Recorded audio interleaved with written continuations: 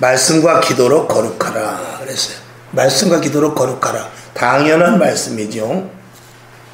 말씀과 기도로 어, 거룩하라는 것은 하나님의 말씀이 우리 속에 들어가고 기도로 말미암아서 내 자신을 돌아볼 때 하나님의 거룩한 자녀가 될 줄로 믿습니다. 오늘도 예배를 방방곡곡에서 드립니다. 그래서 많은 성도들, 즉 다시 말해서 많은 회중들, 즉 많은 청중들이라고 할 수 있어요. 어쨌거나 많은 성도들이 오늘 예배를 드리기는 하는데 정말 하나님이 필요로 하는 사람이 얼마만큼 있는가는 또 다른 문제가 될 수 있습니다. 그래서 오늘 내가 앉아서 예배를 드리지만 과연 내가 하나님이, 하나님께 꼭 필요한 존재인가? 하나님이 나를 사용하시는 데 있어서 내가 아무 때고 준비해서 지금이라도 무엇이라도 시키면 할 수 있는 그런 준비가 되어 있는가요? 그거를 생각하고 우리가 예배를 드려야죠. 그러니까 예배를 우리가 때우면은 안 됩니다. 오늘도 예배를 때우러 온 사람이 전국 방방곡곡에 분명히 있을 것입니다. 예배는 구멍난 데를 때우는 것이 아니라 예배를 통해서 하나님 제가 여기 있습니다. 하나님 나는 쓰실 수 있겠어요? 또 하나님이 쓰신다면 제한 없이 나를 사용하여 주옵소서 하는 그런 다짐을 받을 수 있어야 되고 만약에 내가 그런 사명이나 다짐이 있어지지 않는다면 예배를 통해서 그 암시를 받을 수 있어야 돼요. 그 레마의 음성을 들을 수 있어야 됩니다. 그냥 예배 드리고 가는 게 아니란 말이죠. 그래서 오늘도 예배 드리는 곳은 참 많지만 그래서 하나님이 기뻐 받으시는 정말 내가 필요로 한 예배 그리고 내가 정말 원하는 자들의 예배 그런 예배는 얼마나 될까를 한번 생각해 봅니다. 이 땅에 진정으로 하나님이 보시기에 거룩한 그리고 함께 잔치 자리에 참여할 슬기로운 다섯 처녀와 같은 그런 사람들이 얼마나 되는가 하나님은 오늘 보고 계십니다. 오늘도 여러분 하나님 보시기에 정말 물론 하나님께서는 우리를 예수 그리스도의 보혈의 피로 구원하셨기 때문에 한 사람 한 사람 다 귀한 존재죠. 그러나 그럼에도 불구하고 쓰기에 굉장히 불편한 사람이 있고 쓰기에 아주 쉬운 사람이 있고 그리고 아예 쓰려고 하지도 않은 사람도 있을 수 있어요. 우리가 준비 잘 하고 그런 부분에 대해서 생각을 깊이 해야 될 것입니다. 만약에 오늘도 예배를 드리는데 하나님이 쓰시기 힘들다 그러면 우리의 신앙생활은 정말 깊이 생각해 봐야 돼요. 우리가 하나님 앞에 섰을 때 하나님께서 어떻게 우리에게 심판할지 그거를 생각해 봐야 되는 거죠. 그러니까 이 땅에서는 좋아요. 하나님 앞에 쓰임을 받지 않든 하나님이 쓰기 어렵든 하나님 앞에 정말 쉽게 쓰든 그 이 땅에서는 잘 모를 수 있어요. 그래서 잘하면 아우 열심히 하시네. 잘 안 하면은 아유 좀 언제 믿음이 자랄까 그 정도 선에서 끝날 수 있지만 하나님 앞에 심판대에 섰을 때는 문제가 달라지는 거예요. 여러분 그런 심정을 가지고 주님 앞에 앉아 있기를 바랍니다. 이 자리는 무서운 자리예요. 여러분 지금 우리 교회가 좋은 교회가 많, 좋은 의자가 돼 있어요. 저도 재판을 받으러 어, 법원에 간 적이 있어요. 코로나 그 방위법에 걸려가지고 아직도 대법원에 지금 계류 중에 있는데 제가 그래서 그, 어, 법, 그, 저기, 어, 법원을 한번 가봤죠. 법원에 한번 가봤더니 법원도 지금은 의자가 개인 의자로 다 되어 있더라고요. 원래 법원에 간, 법원의 옛날 의자는 어떤 의자냐면 교회 장의자하고 법원의 의자하고 똑같아요. 그 의자는 어디에서 유래된 것이냐? 이스라엘에서 유래된 것입니다. 이스라엘의 회당에 모일 때 의자가 그런 통의자입니다. 여러 명이 쭉 앉아서. 그러니까 편안한 의자가 아니고 딱딱하고 직각으로 된 의자죠. 여기도 보면 의자가 있는데 이것도 굉장히 지금 편한 의자예요. 원래는 여기도 어떤 의자가 있느냐. 여러분들이 그 TV 같은데 이렇게 법관들 보면 이렇게 위에 쭉 올라가 있고 수직으로 직각으로 돼 있는 딱 그런 어, 의자가 있어요. 거기서는 허리를 뒤로 젖힐 수 없습니다. 그냥 그 자리에 딱 앉아 있는 거예요. 법관도. 그리고 회중에 앉아 있는 사람들도 그 장의자에 그냥 딱 앉아 있는 거예요. 그건 뭐냐면 심판받는 자리입니다. 언도가 내리는 자리입니다. 그리고 여기 앉아 있는 이들은 나는 아직까지 죄인입니다 하는 그런 모습인 것입니다. 판결을 받는 그런 자리라 그 말이죠. 그런 의미에서 그런 의자가 있는 것이고 그 어, 이스라엘 그 회당에 그런 의자가 있고 우리 교회도 그런 의자가 있으며 그리고 희한하게도 법원에도 비슷한 그런 의자가 있어요. 근데 지금은 다 이제 자유로워져 가지고 그런 것에서 어떤 틀에서 얽매이지 않기 때문에 지금 이렇게 편안한 의자, 좋은 의자, 하다못해 이 목사님이 앉아있는 의자조차도 지금 아주 편안한 의자로 되어 있어요. 그러나 우리가 편안한 의자에 앉아 있다 할지라도 우리는 어, 우리는 언제든지 이 자리에 앉아 있을 때 주님 앞에 고람되어 주님 앞에 항상 있는 모습이 되어야 됩니다. 언제든지 주님 앞에 아멘. 세상에 나가서도 주님 앞에 여기 예배 드릴 때는 두말할 것도 없고 오늘 내가 주님 앞에 주님께 예배를 드린다. 그리고 주님 안에서 주님 앞에서 내가 말씀을 듣는다. 라는 그런 심정으로 오늘 예배를 드려야 될 줄로 믿습니다. 말씀은 거울과 같다고 그랬어요. 그래서 말씀을 통해서 내가 분별할 수 있고, 아, 이건 내가 잘못됐구나. 이렇게 해야 되겠구나. 이런 것들을 알게 되죠. 그 다음에 기도를 통해서 날마다 내 자신이 무익한 자이고 연약한 자이며 쓸모없는 자라는 것을 알게 되어 나는 날마다 죽이고 내 안에 예수님이 오셔서 예수로 말미암아 살기 때문에 말씀과 기도로 거룩해지게 되는 것이죠.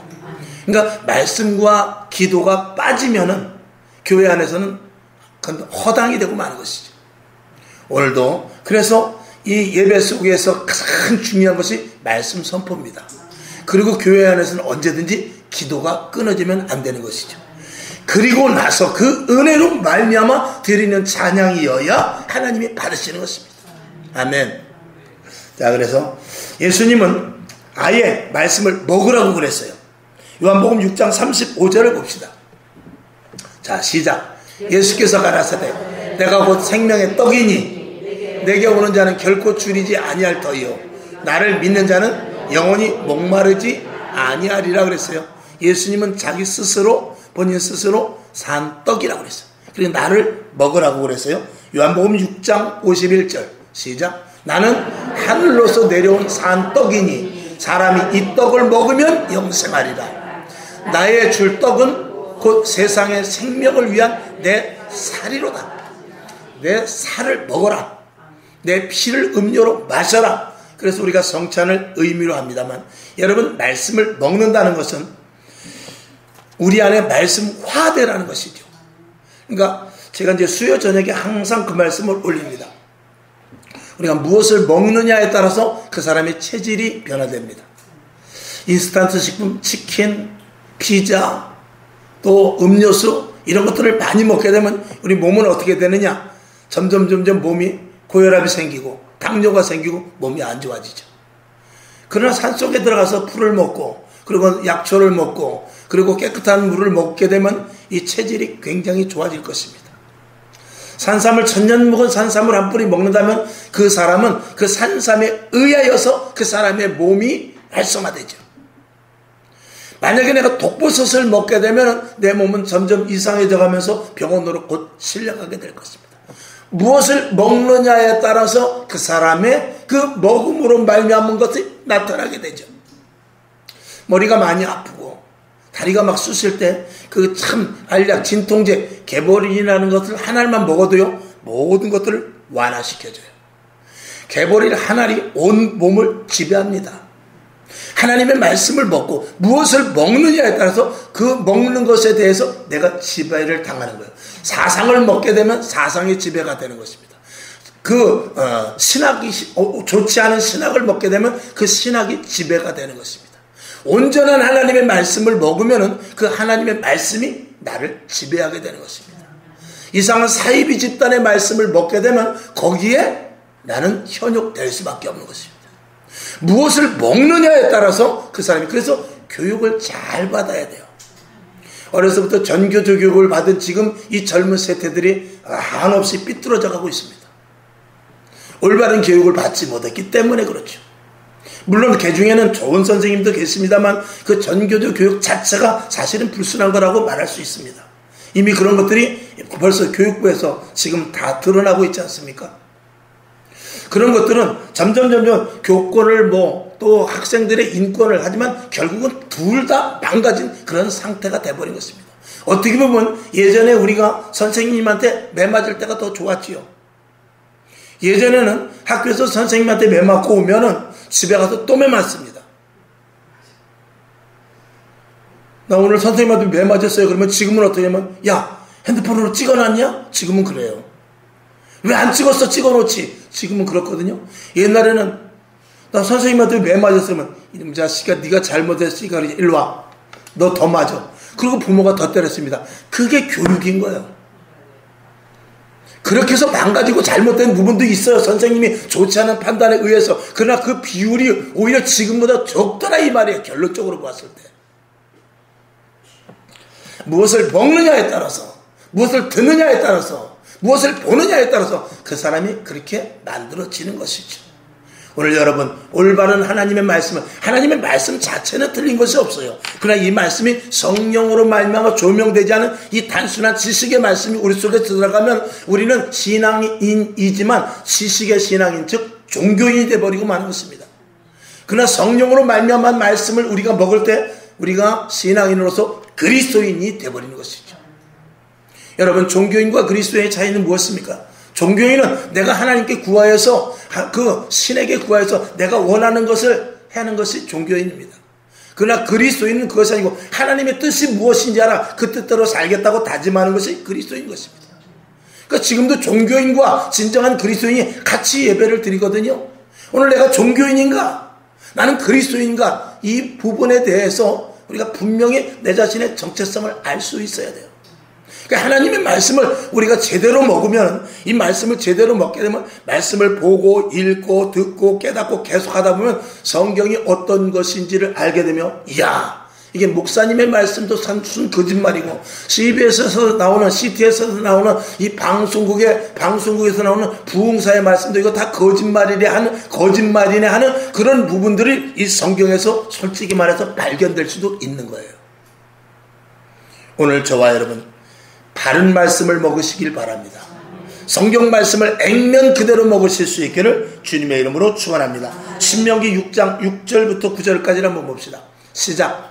오늘날 내가 내게 명하는 이 말씀을 너는 마음에 새기고 내 자녀에게 부지런히 가르치며 집에 있을 때에든지 길에 행할 때에든지 누웠을 때에든지 일어날 때에든지 이 말씀을 강론할 것이며 8절 너는 또 그것을 내 손목에 매어 기호를 삼으며 내 미간에 붙여 표를 삼고 또 내 집 문설주와 바깥 문에 기록할 지니라 아멘. 그러니까 구약에서는 그 말씀을 이마에도 붙이고 손목에도 붙이고 옷술에도 붙이고 뭐 지금으로 말하면 집 문지방에도 붙이고 거울에도 붙이고 화장실 문 앞에도 붙이고 그러란 말입니다. 그러나 지금은 어떻게 죠 말씀을 신비에 심어야 돼요. 그러니까 하나님의 말씀을 먹어야 되는데 그 먹는다는 것은 뭐 사상화라고 할 수 없겠지만 사상화라는 것은 이, 그, 어, 이런 그 비교로 제가 말씀을 합니다만 하나님의 말씀을 내 속에 완전히 넣을 수 있어야 돼요. 그래서 하나님이 어떤 분이며 예수님이 무엇하러 이 땅에 오셨으며 성령님께서 왜 나를 택하여서 하실 일이 무엇인가 이런 것들에 대해서 분명히 알지 못하면 우리의 신앙은 화공을 치는 것과 똑같을 수 있다라는 것이죠. 사도 바울은 이제 사도 바울은 기도를 쉬지 말라고 그랬어요. 이 말씀을 붙잡고 이어나가는 데 있어서 기도는 매우 중요합니다. 기도하지 않으면 말씀대로 살 수 없는 것이 분명합니다. 기도하지 않으면 우리에게 성령이 임하지 않습니다. 누가 복음에 보면 기도하는 자에게 성령을 선물로 주신다고 그랬어요. 왜? 성령을 통하여서만 하나님을 믿을 수 있기 때문에 그래요. 하나님은 이 땅에 예수 그리스도를 보내주셨어요. 하나님은 이 땅에 예수 그리스도를 그래서 십자가에 못 박혀 죽이게 하고 그리고 우리의 죄를 다 담당하셨어요. 하나님은 그 큰 사랑으로 말미암아 우리의 모든 죄진 것에 대해서 다 회개하는 자에게 영생을 선물로 주신다고 말씀했어요. 그래서 하나님의 사랑과 그리고 예수 그리스도의 십자가의 사건과 그 구속 사건과 그 모든 은혜 이것 때문에 우리가 하나님을 믿, 믿을 수 있는 것인데 하나님을 믿는 데 있어서 예수 그리스도의 사랑과 하나님의 은혜와 십자가의 사건이 확실하게 믿어지게 하는 것이 성령입니다. 그러니까 성령은 모든 것을 여러분이 아, 검색을 한번 해보세요. 보혜사라고 한번 딱 검색을 해보게 되면 보혜사는 하나님을 알게 하고 예수 그리스도를 증거케 하고 죄에 대해서 의에 대하여 심판에 대해서 모든 것들을 알게 하시고 깨닫게 하시고 통달케 하시는 분이 성령님이십니다. 그러니까 성령이 아니면 저와 여러분이 아무리 예수를 믿고 싶어도 믿을 수 없습니다. 만약에 우리가 지식적으로 성경에 보니까 하나님이 우리를 사랑하시고 예수님이 십자가를 지시고 그리고 그 은혜 가운데 우리가 산다라고 아무리 지식적으로 우리가 안다 할지라도 그 지식은 한계가 있습니다. 지식으로 알아서 나는 하나님은 나를 사랑하신다. 하나님은 우리에게 은혜를 주셨다.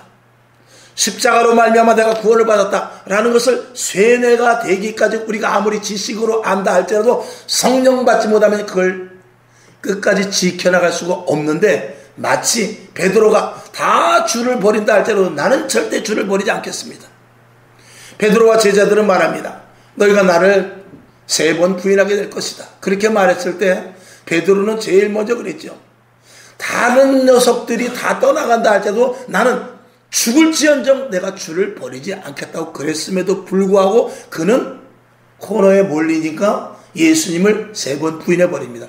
그가 예수님을 몰라서요? 그가 예수님을 사랑하지 않았을까요? 그가 예수님과의 깊은 관계 속에서 진짜 이분이 하나님의 아들이라는 것을 몰랐을까요? 그러나 알았음에도 불구하고 그가 코너에 몰렸을 때는 예수님을 부인할 수밖에 없는 거예요. 그러나 그가 오순절 마가의 다락방에서 성령이 그에게 임했을 때 그는 그 입술이 성령에게 내어준 바가 되고 그의 손이 성령에게 내어준 바가 되고 그의 발걸음이 성령에 내어준 바가 되어서 내가 속에서부터 위협을 닥쳐서 정말 두려움과 공포에 떤다 할지라도 하나님께서 입술을 주관하셔서 저는 그리스도시여 살아계신 하나님의 아들이시다는 그 말이 입술을 통해서 강권하여 성령이 말하게 하시는 것이요. 이렇게 신앙생활하는 것입니다. 내 생각이 배제되고 내가 품었던 것들이 다 배제되고 성령이 나를 압도시켜서 나는 그렇게 할 수 없어요. 나는 전도할 수 없어요. 나는 헌금을 할 수 없어요. 나는 봉사를 할 수 없어요. 내 돈이 아깝습니다. 내 시간이 아까워요. 그리고 내가 아프리카로 갈 수 없어요. 그런데 성령이 나를 끌고 가는 거예요. 그 끌고 가는 역사 속에 예수를 시인하게 되고 내 입술 속에서 주는 그리스도시요 살아계신 하나님의 아들이시라는 것이 그 예수님 앞에서 뿐만이 아니라 내 목에 칼이 들어도 총구가 내 목을 향해도 입술을 사용하셔서 그것을 고백하는 것입니다. 이게 성령이 하시는 거예요. 그러니까 지금 그 성령에 의해서 내 입술이 내어 주어 있느냐 아니면 지식을 가지고 주는 그리스도시요 살아계신 하나님의 아들이시는 단순한 고백을 하냐 매우 중요합니다. 예수님께서는 제자들에게 말합니다. 마지막으로 내가 올라가는 것이 너에게 유익이다. 그리고 나는 육신의 몸이라는 그 한계성을 가졌기 때문에 이 땅에 오랫동안 있을 수 없어. 내가 아버지 우편 보좌로 가는데 내가 가면 보혜사 성령을 너에게 보내줄 거야. 그게 유익이다 그랬어요. 제자들은 예수님이 떠나면 벌벌 떨고 어떻게 할 수도 없었어요. 예수님과 같이 있을 때는 마치 어린아이가 자기 아버지가 있을 때는 큰 개가 있어도 개한테 가서 발길질하지만 뒤돌아보니까 아버지가 없을 때는 도망가는 것과 똑같이 제자들도 예수님이 있을 때는 병든 자도 고치고 예수님이 있을 때는 능력을 발휘하고 예수님이 있을 때는 어떤 두려움과 겁 없이 말할 수 있었고 담대하게 행할 수 있었으나 예수님이 막상 보이지 않으면 어떤 일도 행할 수 없는 존재였다는 거예요. 그걸 예수님이 잘 아셨기 때문에 내가 올라가는 것이 너에게 유익이다. 그리고 보혜사 성령을 보내주어서 그 성령에 취한 바 된 제자들이 이제 그 안에 예수님이 계심으로 말미암아 담대하게 복음을 전하고 안진뱅이를 일으키고 그리고 옥에 갇혔다 할지라도 두려워하지 않는 존재가 되는데 그게 누구냐? 성령님이 하시는 거예요. 그러면 지금 이 시대는 무슨 시대입니까? 성령의 시대요. 언제까지? 주님 오시는 그날까지. 어떤 분은 그렇게 말합니다. 성령의 시대 이제 갔다고. 성령님은 주님 오시는 그날까지 우리를 인치 계속해서 인치시고 계셔요. 너는 내 것이야. 너는 내 것이야. 너는 내 것이야. 내 속에서부터 계속해서 채근하십니다. 내 입술을 주관하시고 내, 수, 내 생각을 주관하시고 내 손목까지라도 주관하시고 내 발걸음을 주관하시며 내 생활 가운데 주관하셔서 성령이 완전히 나를 이끌고 가셔요. 성경을 한번 보겠습니다. 에레미야 33장 3절을 보죠. 자, 시작. 너는 내게 부르짖으라. 내가 내게 응답하겠고 내가 알지 못하는 크고 비밀한 일을 내게 보이리라. 이것은 사람의 생각에서 나오는 것이 아닙니다. 성령님께서 지시하시고 가르치시고 알려주시는 것이죠. 자, 사도행전 16장 9절을 봅니다. 시작. 밤에 환상이 바울에게 보이니 마게도냐 사람 하나가 서서 그에게 청하여 가로되 마게도냐로 건너와서 우리를 도우라 하거늘 아멘. 사도 바울이 성령에 이끌림 받으니까 성령의 음성을 듣습니다. 코드가 맞는 것이죠. 오늘도 우리가 제가 신령과 진정의 예배에 대해서 말씀을 드렸을 때도 우리가 주님을 알고 드리는 예배 그리고 주님을 모르고 드리는 예배가 있어요. 알고 드리는 예배 우리는 주님을 모르고 드리는 예배는 뭐냐 우리가 그냥 주님 앞에 나와서 신의 뜻이 무엇인지도 모르고 우리는 내 기도의 소원과 제목을 알으면서 그저 빌고 빌고 빌고 비는 게 그게 모르고 드리는 예배입니다. 모든 이방신의 종교는 그렇습니다. 그러나 하나님을 믿는 요한복음 4장에 있는 대로 우리가 알고 지내는 알고 드리는 예배는 뭐냐면 하나님이 나에게 어떤 의도로 나를 부르셨으며 왜 나를 부르셨고 하나님이 나를 어떻게 사용하시고 하나님이 나를 어떻게 인도하시며 영원한 천국까지 끝까지 인도하실 것이라는 그 교통과의 그 교통 속에서 드리는 예배가 그게 진짜 예배인 것이죠. 그러니까 보통 이방신을 섬기는 그런 사람들은 가서 비나이다 비나이다 해야 돼요. 그리고 신의 뜻은 모릅니다. 그러나 우린 그렇잖아요. 하나님의 의도와 하나님의 뜻을 아는 것이죠. 그래서 요한 1서, 2서, 3서를 보게 되면 우리는 하나님과 사귐과 교제가 있게 함이라고 그랬어요. 그건 하나님과 통한다는 것인데 그 어떤 사람이 통하느냐? 성령의 사람. 영은 영끼리 통하는 것입니다. 육과 영은 통할 수가 없습니다. 그래서 육을 가진 우리가 영적인 하나님을 믿어야 되는데 믿을 근거가 없어요. 그 가운데서 성령님이 역할을 해주시는 것입니다. 그러니까 성령님이 아니면 우리를 주라 시인할 수 없다니까요. 주라 시인해도 그건 가짜예요. 성령님이 입술을 통해서 주라 시인해야 되는 거예요. 성령님이 아니면 어떤 능력과 기적도 나타날 수가 없고 그 능력과 기적이 나타나다 할지라도 그것은 다 가짜예요. 발세불이 하는 것입니다.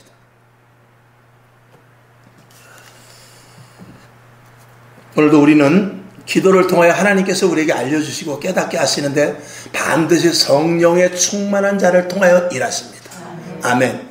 여러분 더욱더 성령 충만하시기를 주님의 이름으로 축원합니다. 그래서 말씀은 그렇고 또 기도에 대해서 몇, 기도에 대해서 몇 가지를 한번 살펴보겠습니다. 기도는 모든 것들을 이겨내는 힘을 갖게 합니다. 물론 성령님이 도와주시죠. 로마서 8장 35절을 봅시다. 자 시작. 누가 우리를 그리스도의 사랑에서 끊으리요? 환란이나 곤고나 핍박이나 기근이나 적신이나 위협이나 칼이랴. 아멘. 기도는 어떤 환경이나 조건을 문제 삼지 않고 하나님의 권능으로 말미암아 이길 수 있는 하나님의 권능을 믿음으로 말미암아서 이길 수 있는 힘을 주셔요. 그렇지만 기도하지 않으면 그것에 대한 것들이 둔감해지게 됩니다. 그러나 기도하면 할수록 하나님이 나를 도우신다는 것이 확연하게 오지요 빌립보서 4장 12절을 봅시다. 시작. 내가 비천에 처할 줄도 알고 풍부에 처할 줄도 알아. 모든 일에 배부르며 배고픔과 풍부와 궁핍에도 일체 비결을 배웠노라 13절. 내게 능력 주시는 자 안에서 내가 모든 것을 할 수 있느니라. 아멘. 이미 십자가에서 모든 것들을 예수님께서 다 이루셨고 그리고 우리는 예수의 이름으로 말미암아 모든 것들을 구하라고 분명히 말씀을 해 주셨습니다. 그 구하라고 하는 데 있어서 우리가 단순히 입술로 구하는 것이 아니라 구하는 것조차도 성령님의 의탁하여 구하게 되는 것이죠. 그랬을 때는 반드시 이루어지게 되는 것입니다. 그 다음에 우리가 기도하는 데 있어서 가장 중요한 것이 한 가지 있는데 기도는 살아나게 하는 즉 다시 말해서 내가 어떻게 이 세상을 살아나가게 하는 힘을 주셔요. 여러분 세상은 만만치 않습니다. 문화적인 요소, 경제, 사회, 또 문화는 말할 것도 없고 여러 가지 정말 우리를 넘어뜨리려고 하는 마귀의 요소는 얼마든지 있습니다. 마약, 중독, 그리고 게임, 여러 가지 많은 것들에 의해서 우리는 세상을 이겨낼 힘이 없습니다. 그러나 기도하는 사람은 세상을 이겨낼 수 있습니다. 기도하는 자만이 세상을 이겨낼 수 있는데 자 사도행전 11장 26절을 봅시다. 시작. 만남에 안디옥에 데리고 와서 둘이 교회에 1년간 모여 있어 큰 무리를 가르쳤고 제자들이 안디옥에서 비로소 그리스도인이라 일컬음을 받게 되었더라. 아멘. 저 안디옥에 가서 하나님의 말씀을 계속 가르치고 그리고 기도를 해서 거기서 그 거기서 훈련된 자들에게 무슨 칭호를 받게 되느냐? 비로소 그리스도인이라는 칭호를 받게 되는데 지금으로 말하면 저것들 예수쟁이다 그 말입니다. 그게 어떻게 되느냐? 말씀대로 살아갈 수 있는 자가 되었고, 아멘. 그리고 다짐한 대로 살아가는 자가 되었고, 그리고 그리스도인답게 살아나 하나님의 자녀답게 살아나갈 수 있는 자가 되었다 그 뜻입니다. 그것은 근거가 무엇이냐? 말씀과 기도인 것입니다. 그러니까 기도는 내가 하나님의 자녀답게 살아가게 할 수 있는 힘을 주시는 것입니다. 그러니까 기도하지 않는 사람과는 상대할 수가 없어요. 왜? 생각이 들리고 계획이 들리고 말이 들리고 목적지가 다릅니다. 그러나 기도하는 사람과는 교통이 되지요. 서로 기도하는 사람까지는 말이 통하고 생각이 통하고 모든 것들에 통할 수밖에 없습니다. 눈빛으로 통하고 한쪽에서 우리가 제가 비유를 잘 하지 않습니까? 만약에 내가 저 뒤에 있는 정수기로 물을 먹으러 간다. 그러면 손과 발이 맞아야 되는 것입니다. 도둑질도 어떻게 해요? 손발이 맞아야 되는 것입니다. 그러나 손이 내가 저쪽으로 가서 빨리 발이 가야 내가 저기서 컵을 가지고 물을 먹을 텐데 발이 저 뒤쪽으로 가게 되면 안 되죠. 그러나 성령으로 충만한 교회, 성령으로 충만한 사람들이 모인 교회는 언제든지 한 뜻, 한 생각, 한 계획입니다. 제가 이제 저는 이제 목사님, 목사니까 이 총회를 1년에 한 번씩 갑니다. 총회를 가게 되면은 1년에 한 번씩 총회를 가게 되면 어떤 교회 가면은요.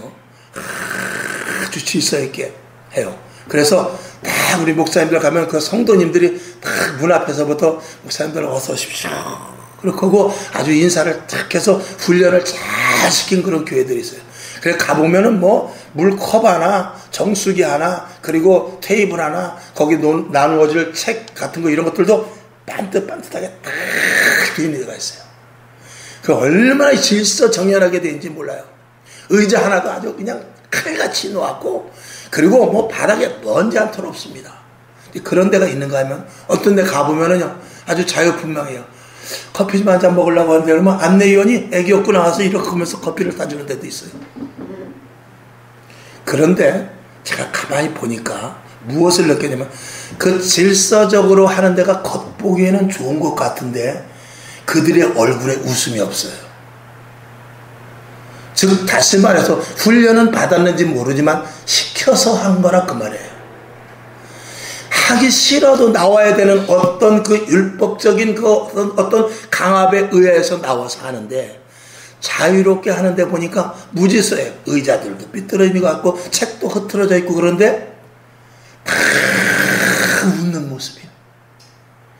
커피를 타주는데도 이렇게 애, 를 철저하면서 목사님 커피 드려요? 그리고 커피 타주는데 여기서 얼굴이 막 웃음이 얼마나 가득한지 몰라. 애는 뒤에서 딸랑이 갖고 막 이렇게 뒤에서 엄마 뒤에서 하고 아 그거 어, 그 집사님은 커피를 타고 여기 커피 있어요 이렇게 주는데 그 모습이 너무나 좋은 거예요.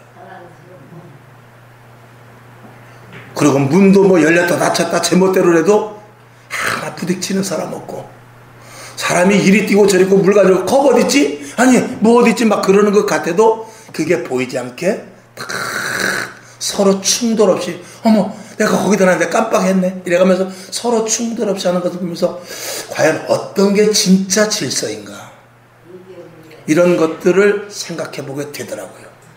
여러분, 하나님의 성령으로 하나가 되면요. 이 손과 발이, 여러분, 우리가 밥을 먹는데, 여러분, 제가 이게 만약에 과자라고 칩시다. 눈을 감아도 저는 입으로 들어가요. 이건 나니까. 내 손이고, 내 입이고, 내 머릿속에 생각하니까 내가 눈을 감아도 과자만 손에 쥐어지면 이렇게 눈을 감아도 입으로 들어가요. 이 귀로 가거나 볼로 가지 않습니다. 왜? 하나로 통일이 되어 있기 때문에 그런 거죠. 교회가 그렇게 되어 있어야 돼요. 성령으로 말미암아 그런 교회가 하나님이 기뻐하시는 교회요. 그 안에서 질서가 멋있게 이루어지게 되는 것이죠. 그런 교회를 오는 것과 그렇게 그 질서 있는 교회는 자칫하면 저는 갔는데 무엇을 끼면 숨이 막혀요. 교회 안에도 숨 막히는 교회가 있습니다.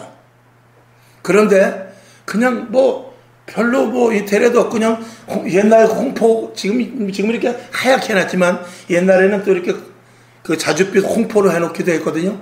홍포로 해놓다가 이제 가운데 흰 휘장을 그 순복음교에서부터 사실은 제일 먼저 한 겁니다.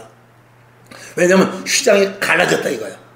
휘장이 갈라진 의미로 해서 가운데 흰 천을 넣고 그리고 중간에 있던 홍포를 저 어릴 때만 해도 감리기도 했지만 그때는 이 홍포로 다 둘려져 있었어요.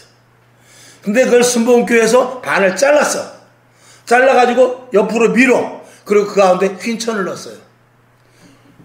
흉, 그, 어, 예수님께서 십자가 못 박혀 돌아갔을 때, 그, 어, 성전의 그, 뭐야, 휘장이 갈라졌거든요. 그런 의미로 갈라는 것입니다.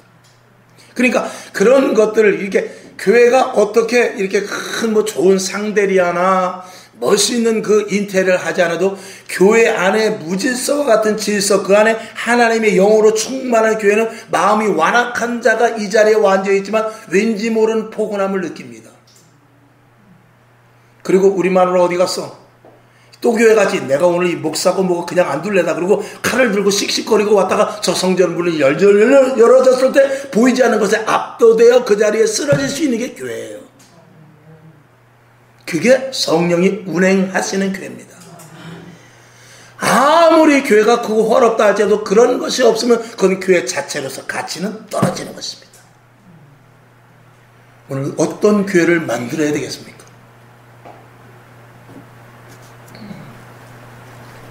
기도는 그래서 우리가 그리스도인으로서 살아나게 하는 힘을 주어 주십니다. 기도하지 않으면 내가 살아낼 수가 없어요.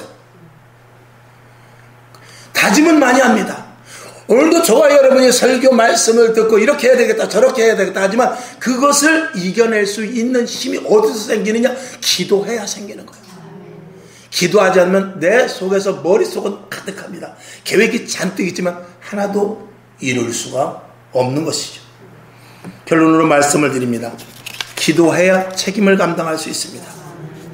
하나님은 누구와 일하느냐? 기도하는 사람과 일합니다. 기도하지 않는 사람과는 일할 수가 없어요. 왜? 계속 일을 해 나가야 되는데 대화가 돼야지. 그렇잖아요. 기도를 해야 대화가 되는데 기도를 하지 않으면 하나님과 대화가 되니까 일을 하다가 단절이 되면 그 단절이 돼서 끝까지 갈 수 없는데 어떻게 하나님이 그와 일을 할 수 있겠습니까? 한 달을 기도해요. 1년을 기도해요. 10년을 기도해요. 그렇게 기도하는 사람과 같이 하나님은 일하는 거예요. 고린도전서 4장 2절 한번 봅시다. 시작. 그리고 맡은 자들에게 구할 것은 어떻게 충성, 충성입니다. 맡은 자들에게 구할 것은 돈이 아니라고 그랬죠? 맡은 자들에게 구할 것은 지혜가 아니라고 그랬죠? 맡은 자들에게 구할 것은 하나님 내가 시간이 없는데 시간 좀 주세요. 그럼 내가 충성하겠습니다가 아니고 먼저 충성을 해. 그러면 물질도 주시고 지혜도 주시고 시간도 주시는 것입니다. 근데 그것을 어떻게 하느냐? 기도해야 하는 것입니다.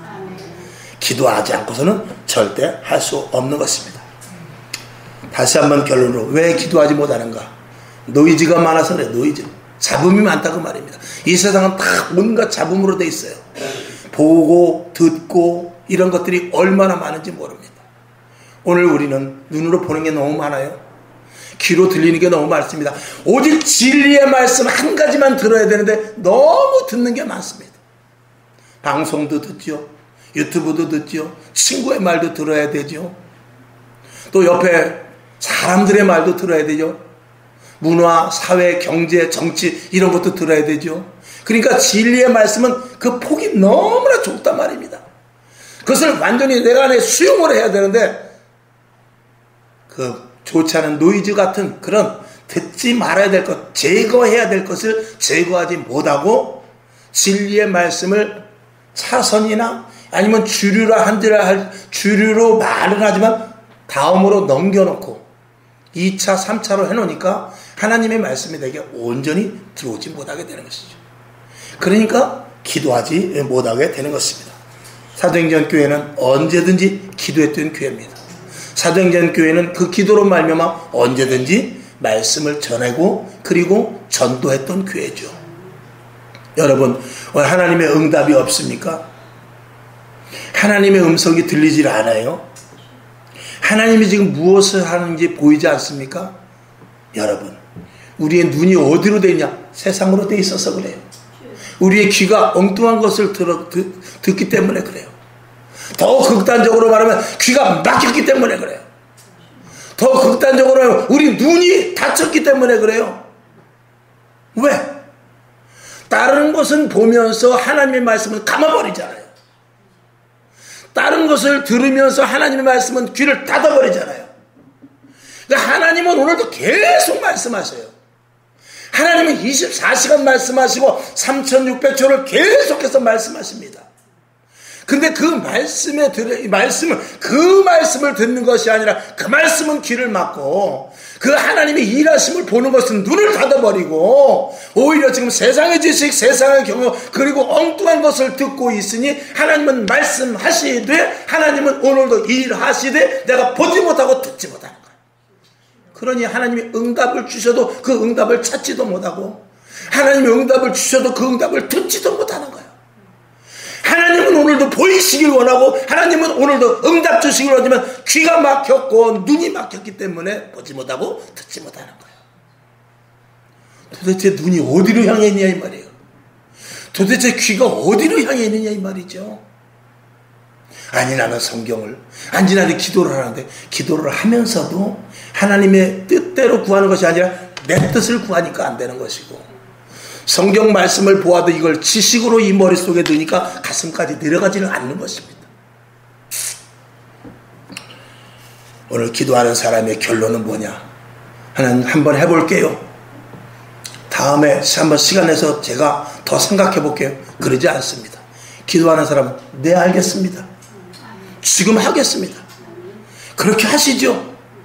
그렇게 합시다. 아멘입니다.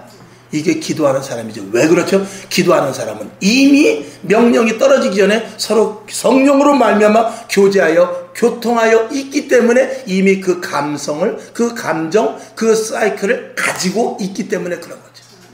도둑님이 밤에 남의 집 털러 들어갈 때 말하면서 들어갑니까? 딱 손짓 발짓 하면 알지요. 교회 안에서도 마찬가지입니다. 집사님이 이렇게 합시다. 네. 권사님이 이렇게 합니다. 생각하고 있었습니다. 장로님 이번에 이걸 이렇게 하려고 하는데 아 그렇지 않아도 목사님 명령 떨어지기만 기다렸어요.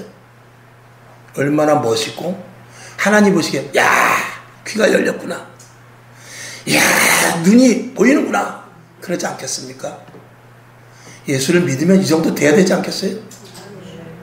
그런 것도 없이 예수 믿으면 안 되잖아요.